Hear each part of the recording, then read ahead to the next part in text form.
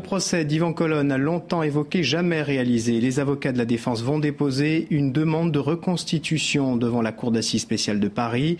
Les magistrats ont poursuivi aujourd'hui l'audition des témoins présents le soir de l'assassinat du préfet Claude Erignac. Parmi eux, Marie-Ange Contard, principal témoin visuel de ce crime. Compte rendu Anne-Marie Leccia, Sylvie Garat. Cheveux courts, teint en noir, Marie-Ange Contard est apparue métamorphosée, mais ses déclarations restent inchangées.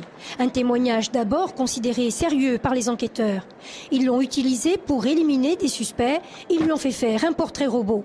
Mais depuis qu'elle affirme ne pas reconnaître Yvan Colonne dans Le Tireur, l'accusation lui préfère le témoignage de Madame Contard, sa mère.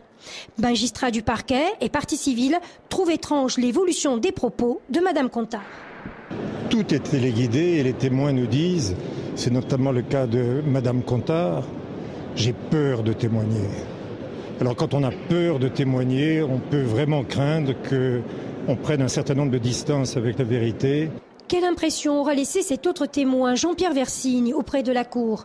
Pour l'accusation, l'homme est missionné par les colonnes. On lui reproche d'avoir réalisé un article pour VSD en 2002. Stéphane Colonne l'aurait commandé pour obtenir l'affirmation suivante.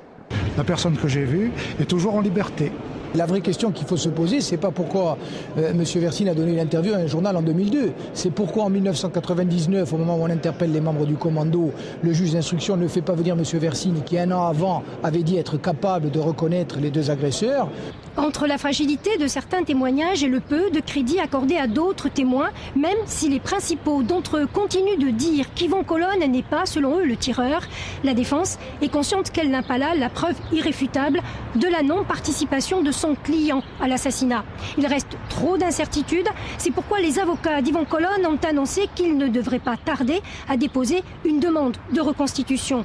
Ils espéraient que la Cour le fasse d'elle-même après le passage des experts, mais il n'en a rien été. En 2009, on se souvient que les magistrats de la Cour d'assises spéciale avaient refusé leur demande, provoquant leur départ.